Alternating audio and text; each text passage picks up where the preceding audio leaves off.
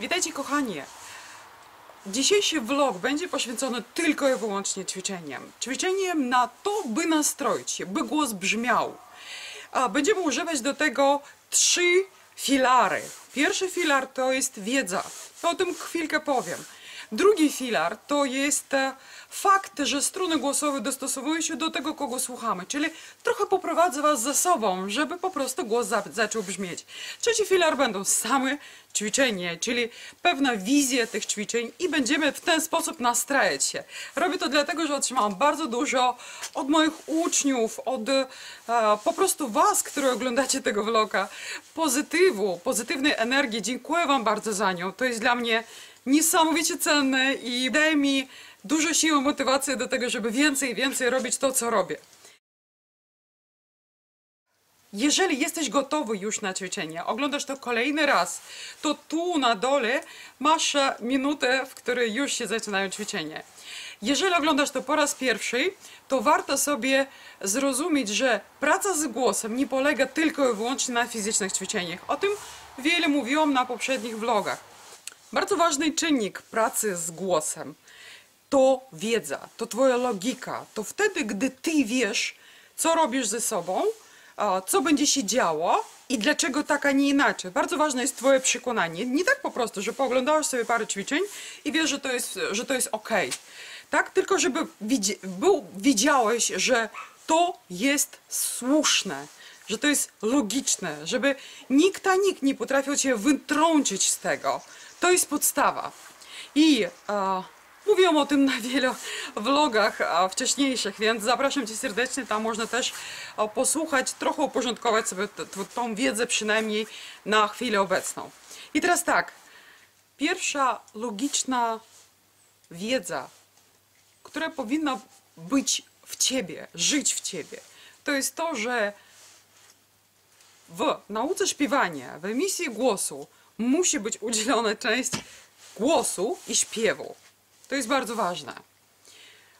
Co mam na myśli? Żeby domknąć struny głosowe, musimy używać komunikacji mówienia, bo tylko ona uruchamia struny głosowe.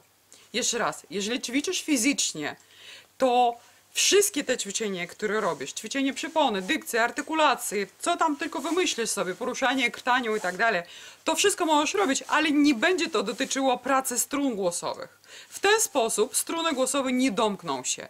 Bardzo ważne, by głos zabrzmiał, to muszą domykać się struny głosowe. I to będziemy w tym blogu robić. Ważne, by to pamiętałeś i żeby nic cię z, z tego nie wytrąciło. Żadny mądry, w cudzysłowie, nauczyciel, który cię przyjdzie i powie o, wiesz, o, bo masz niewyćwiczoną przyponę. Mądrze to brzmi, natomiast e, może powiem ostro, ale dla mnie to wygląda tak, że człowiek, który mówi takie słowo, to tak jakby na czole miał napisane jestem idiotą. Bo jeżeli ty używasz pewnych wyrazów w swojej nauce, to musisz mieć pod to podparte jakąś wiedzę i naukę. Przypona to jest największe nasze miejsce w naszym ciele. Jeżeli tak jak większość ludzi mają niedomknięcie strun od samego początku, to większa siła, czyli większy e, pęd powietrza sprawi, że pogorszy tą sytuację. Będzie jeszcze większe niedomykanie się stron głosowych. Więc bardzo proszę uważajcie na tych ludzi, którzy Wam na samym początku nauki śpiewania proponują ćwiczenie przypony i inne różne fizyczne rzeczy. Jeszcze raz, powtórzę się. By domknąć struny głosowe, musimy używać komunikacji mówienie, bo tylko ona wprowadza struny głosowe w ruch. Podpiera się przypona, bierzemy odpowiednią ilość powietrza. Nasze ciało zaczyna pracować jak zegar. Nie musisz wiedzieć, co ono robi. Ono będzie pracowało zgodnie z Twoją naturalnością. I to jest bardzo cenne. To jest to, co cały czas poszukujemy. Ok. Będę proponować Wam za chwilę ćwiczenie krok po kroku, by rozśpiewać całą skalę, cały swój głos, by on nastroił się i zaczął brzmieć. Warunkiem do tego będziemy w tej chwili używać te dwa pojęcia, które już mamy, czyli bezwładność i mówienie. Ok?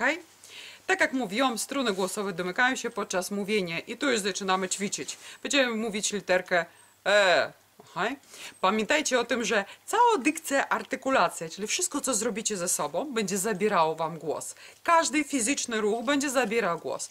Dlatego robimy to na bezwładności. A najlepiej, żeby było tak, że tych ust tu nie ma, oni znajdują się na czubku głowy i tymi ustami mówimy Eee.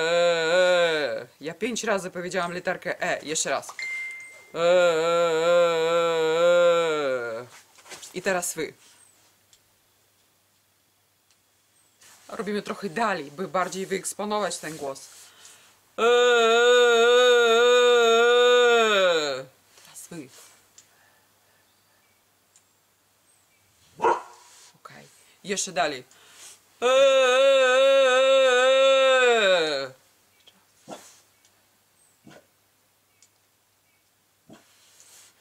Okej.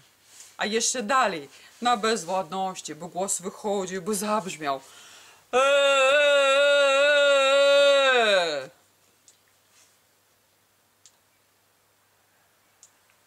Przed dykcją, artykulacją.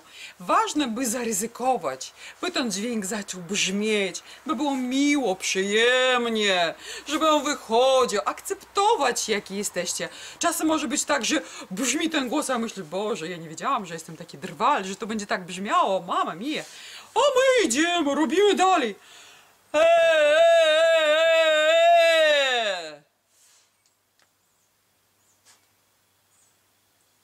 Świetnie.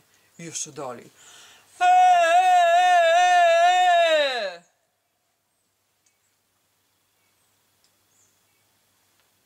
Mamy pogłos w lesie. Później powiem, gdzie jestem i dlaczego tak długo mnie nie było. Na sam koniec. Dalej. Eee!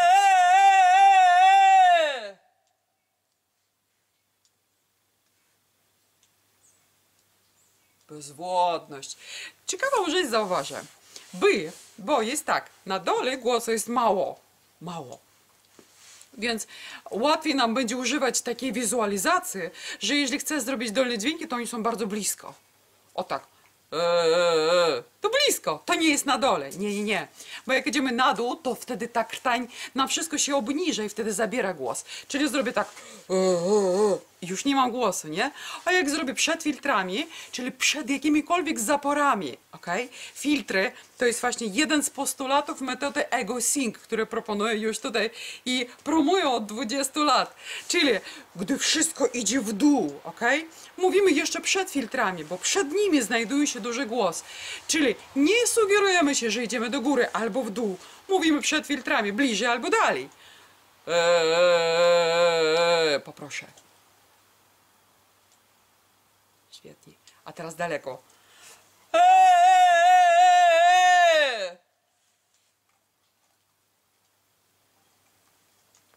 Właśnie. I niech on wyleje się ten głos, bo robimy to na bezwładności.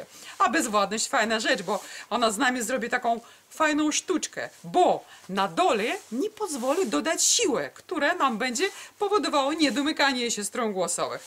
Natomiast na górze spowoduje, że wyciągnie nam głos. Nie będziesz umiał powstrzymać się. Będziesz musiał pociągnąć się, zrobić jakby ten przysłowiowy szpagat, ok? To jeszcze raz. Na dole. Okay.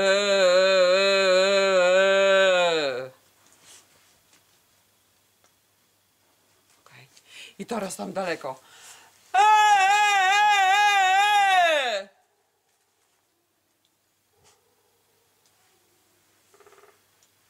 O, dzięcioł jest.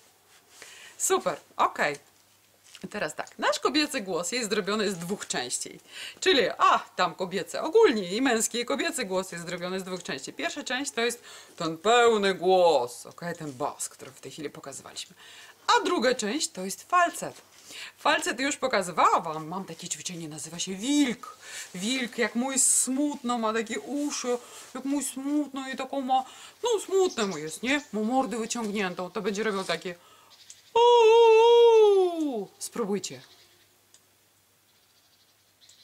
Falcet mają i chłopaki, i dziewczyny, wszyscy razem, nie? No, a przy tym zauważcie, żeby nie robić tak, żeby nie wydmuchiwać, żeby nie intonować, żeby nie śpiewać.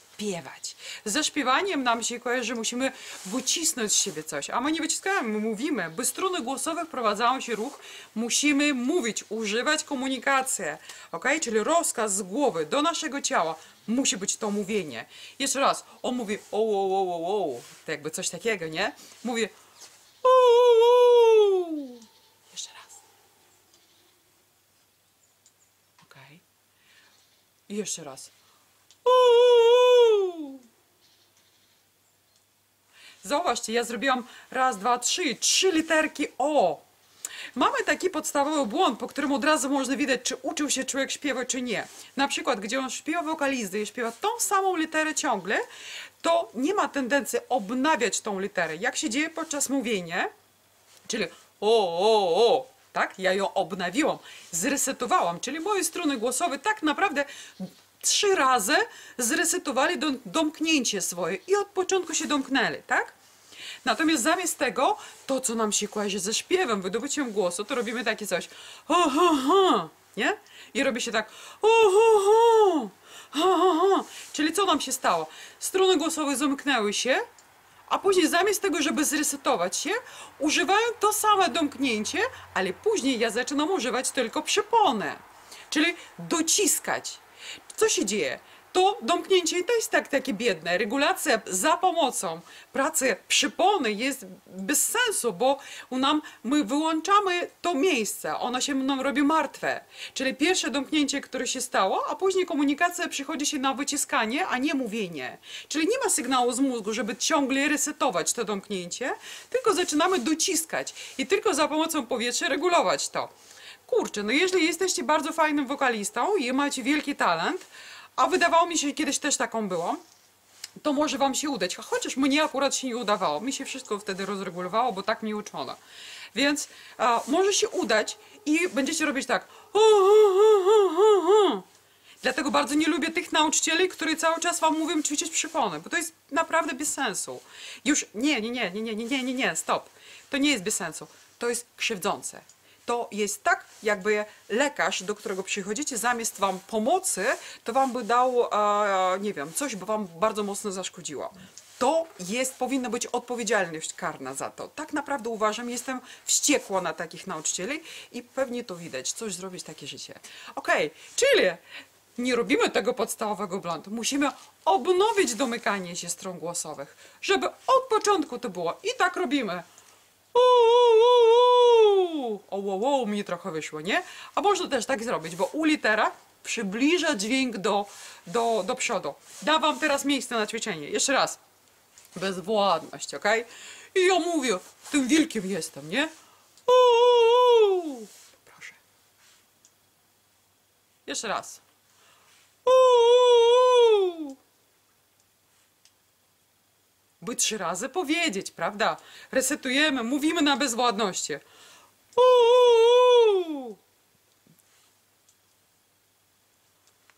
Świetnie, a teraz będziemy robić to jeszcze dalej, nie? I tak samo przejdziemy się po całej skali, do samej góry. Zobaczymy, czy może ktoś policję wyzwa.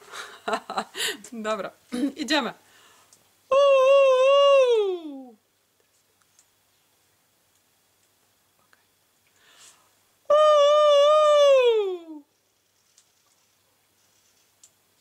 Super.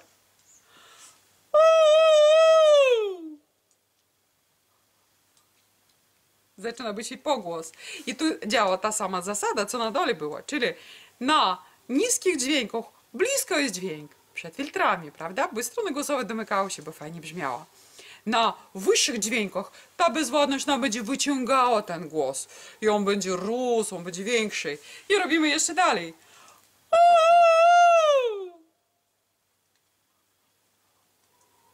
O, jeszcze dalej robimy, nie?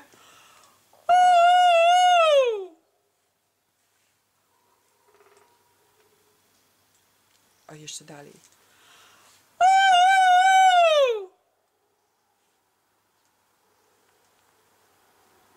Bezwładność.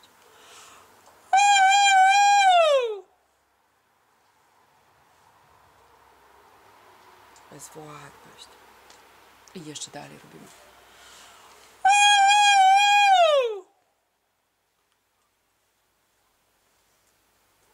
Super, okej. Okej, miło, żeby przyjemnie było. Tak samo można sobie poćwiczyć inne frazy. Zrobimy tak i drugą serię. Będę mniej tłumaczyć, jak ewentualnie coś mi przyjdzie do głowy, nie? A i będziemy więcej ćwiczyć. Zrobimy taką frazę, by więcej nam się kojarzyło z mówieniem. Ojej, jest taka fraza, taki, taki, nie po polsku mówimy. Ojej. Ojej. Pauza. Można zrobić to też dykcyjnie, nie? A, wiecie, jak często, no, no, no będę chciała coś powiedzieć, co zrobić. Zobaczcie. Często mówią tak, a Rosjanie mają, w ogóle ludzie ze wschodu, i Ukraińcy, i Białorusi, Rosjanie, mamy a, ten dźwięczny głos, tak mówią. Hm. I wiecie co, powiem wam tak, to nie do końca tak. A, ja by powiedziałam, że tam język rosyjski powoduje, że mamy bardziej luźną buzię Bo język rosyjski jest taki trochę byle jaki. Co mam na myśli? Nie jest byle jaki, jest cudowny, ale chodzi mi o to, że jest, jest taki różny. Czyli zupełnie inaczej się pisze i zupełnie inaczej się mówi. Na przykład, to zna, znane słowa pisze się tak пожалуйста, a mówi się пожалуйста. Okay? Czyli mamy taką luźną buzię. Co mam na myśli? A, to, że nam się wydaje, że tam ludzie ze wschodu mają taki dźwięczniejszy, bardziej śpiewny głos, ale to za pomocą tylko języka. Więc w Polsce mamy coś takiego jak polszczyznę też, dlatego mama, sam, sama mam ten akcent, bo moja buzia nie jest przyzwyczajona do takiego wymagania i dykcyjności. Do czego dążę? Do tego, jak w tej chwili mówimy o jej, to ja by chciałam to zrobić przed filtrami, a jednym z filtrów będzie dykcja, artykulacja. Czyli jeżeli zrobię tak, ojej, ok? To będę ma, miała bardzo mało głosu. Po prostu ono mnie zabierze ten głos. Pamiętajcie jeszcze raz bardzo ważną e, zasadę. Duży głos znajduje się przed filtrami. A jedną z filtrów, czyli filtry fizyczne spięcia, które podstawę, swoją przyczyny mają w głowie, czyli psychiczne, ok? Czyli na przykład wystraszyłam się i powstrzymałam się, ok? Taka najbardziej e, częsta, trywialna rzecz. Więc więc o, tu będziemy mieli odruchową dykcję, artykulację, która będzie nas, Polaków, jako mnie również, bo też mam polskie obywatelstwo, będzie nas prześladowało cały czas, tak? Będziemy chcieli, bo, bo tak jest wykształcona ta buzia. I też przed tym by chciałam was ostrzec. Jeszcze raz, duży głos znajduje się przed filtrami, przed dykcją, artykulacją, ok? Czyli o, dlatego to jest dobre, gdy mówimy tych ust tu nie ma, a oni znajdują się na czubku głowy, bo to spowoduje, że już nie będziesz chciał pierwsze zrobić dykcyjnie coś, ok? Tylko tu mówisz na czubku głowy i on spowoduje, że będzie wyciągał dźwięk, wyciągał sam koncentrat głosu, czyli będzie wspierał prawidłowe domykanie się strun głosowych, ok? Czyli jeszcze raz, przed dykcją, artykulacją. Ojej! Świetnie. I jeszcze dalej. Ojej! Super. I jeszcze dalej. Ojej!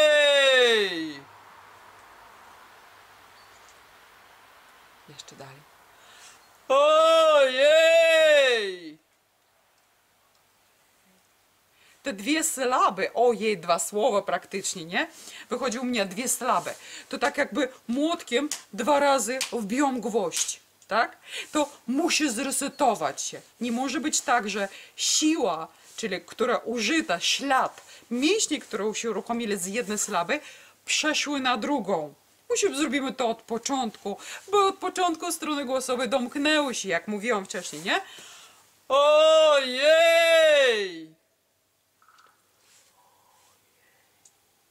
Jeszcze dalej. Ojej!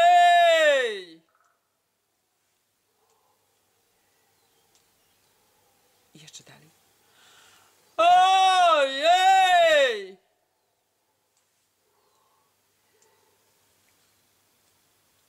Jeszcze dalej. Ojej! Zauważcie ciekawą rzecz, że czym dalej robi, to moja buzia robi sama automatycznie większą amplitudę ruchu. Ha! tu można jeszcze złapać tych mądrych w cudzysłowie nauczycieli śpiewu, którzy bardzo lubią wam tłumaczyć, jak macie otwierać swoje usta. Bo, jeszcze raz, jeżeli mamy blis, dźwięk bliżej i dalej, to nie będzie wszędzie to samo. Czyli sama sugestia, że ktoś wam tłumaczy, że wasza buzia musi być tak albo inaczej, jest zupełnie bez sensu. Albo tak samo, jak mówiłam wcześniej, jest szkodliwa. Ok? Bo za każdym razem dźwięk jest dalszy, jest amplituda większa, on jest cięższy, on jest dźwięczniejszy, więc będzie inaczej współpracował aparat głosowy, by wyeksponować ten głos. Nie będzie to samo, co na dole. Nie będzie to samo, co w środku. Bardzo by chciałam, żeby uruchomiła się Was ta logika, by jednak tą naszą całą dziecinę emisji głosu tych nauczycieli trochę tupnąć na nich i wystraszyć, by nie było tak, że każdy lepszy sobie wymyślę, że będzie dorabiał poprzez to, że będziesz komuś su- sugerował, co ma robić ze sobą. Musi być to wiedza. Okej. Biszkopka. Muszę wam pokazać pieska. Później pokażę. Musi być to, musi być to podparte nauką, okej? Podparte wiedzą. Dobrze. Ale teraz to, ha, jestem za was spokojna, więc uruchamiajcie to, zadawajcie pytania mnie na ten temat. Bardzo chętnie porozmawiam o tym, okej? E, Wytłumaczę, przyjeżdżajcie tu do nas, poćwiczymy razem, powołamy tu, zrobimy tu fajny warsztat. Okej, idziemy dalej, dalej. Przechodzimy na falset. I falset tak samo na początku będzie mały, okej? Ojej!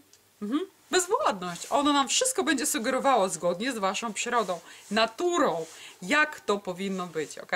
Bezwładność. Jak, jak ten wilk, tak samo mówię. Ojej! I teraz jeszcze dalej.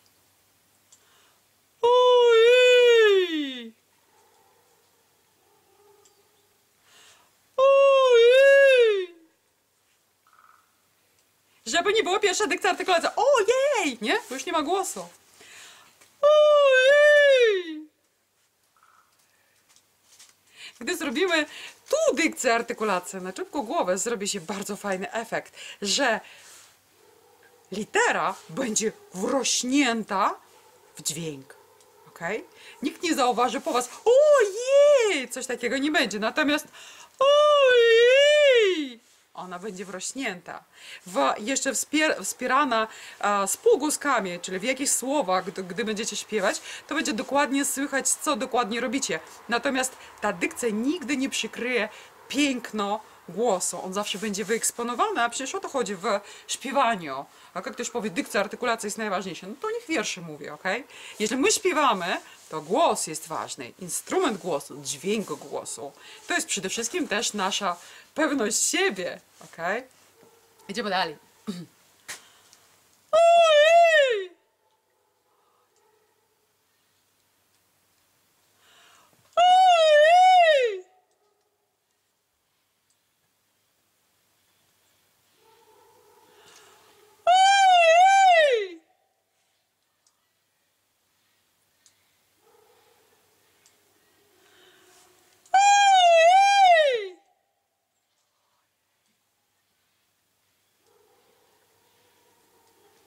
Jeszcze raz.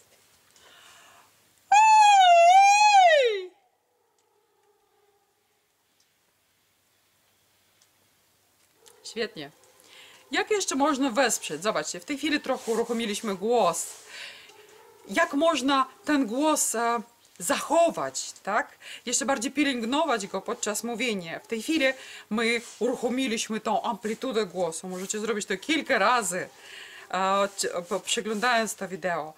Natomiast jak to zachować w mówieniu? Co zrobić, by mówić dobrze? A to bardzo proste. Dokładnie to samo, co robiliśmy.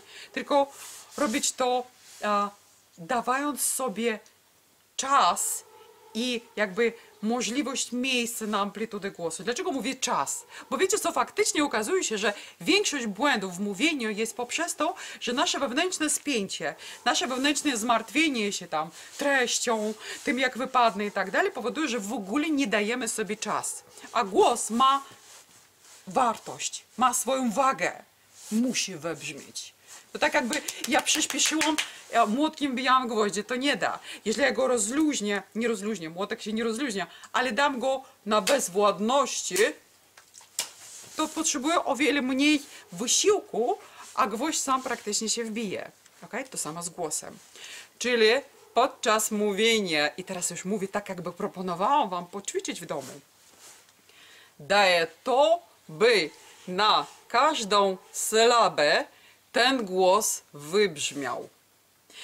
Może być czasem tak, gdy regularnie, a tak czasem bywa, często bywa, gdy regularnie nie przyzwalam sobie na a, dźwięczność tego głosu, czyli wyćwiczyłam cały czas mówienie na początku niepełnym głosem, a to jest przyczyna niedomykania się stron głosowych, a później jeszcze dodawanie siły, o tym wszystkim mówiłam na poprzednim vlogu, a powoduje, że ten głos naprawdę jest mały, on zupełnie nie słucha się.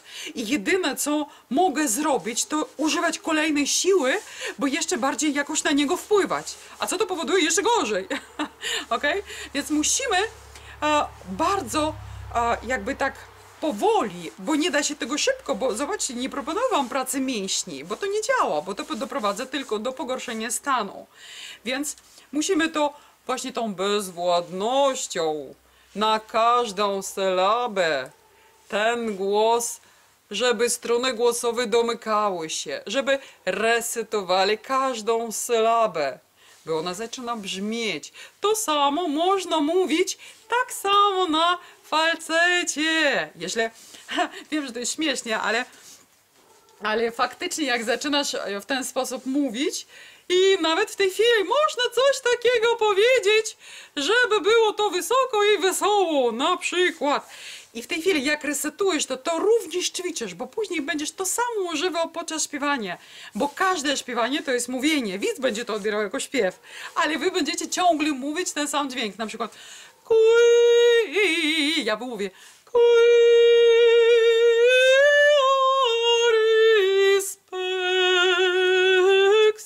To wszystko będzie mówienie, a on będzie mówił, o ładnie śpiewasz, nie? A, tak samo na dole różne są dźwięki. Więc pielęgnować ten głos regularnie, ćwiczyć, powracać do tego mówienia. A, Jest to trudna droga wyjść właśnie z tych e, zaburzeń głosowych, o których mówiłam wcześniej. Natomiast jest to możliwe. Trzymam za Was kciuki, jest to bardzo trudno, bardzo ciężko. Taka cierpliwości dużo Wam życzę. Trudna to jest praca, więc trzymam za Was kciuki. A na koniec a, chcę Wam powiedzieć, gdzie jestem. Zobaczcie. To jest miejscowość, nazywa się Garbatka Letnisko. To jest powód, dla którego nie było a, mnie z wami przez, ojej, chyba nawet pół roku, więcej. Przeprowadziliśmy się tu razem z dziećmi, razem z mężem. Mamy przepiękną willę. To jest nasza willa radosna, do której Was zapraszam. Gdzie można przyjechać, poćwiczyć. Mamy tu dużo salę w 111 metrów. Mamy pokoje dla gości. Tu można poćwiczyć, można się wykąpać nawet w zimę, bo mamy otwarty sezon morsowania. Można przespacerować się przy cudownych les, lasach. Można oddychać tym mikroklimatem, który tu jest. e, Zachwycać się szlakiem starodawnych, przedwojennych willi. No i co tu można? Wszystko tu jest naokoło. Ze sklepami wszystko jest dobrze i najważniejsze jest brak zasięgu. To jest fajna rzecz, więc zapraszam Was serdecznie.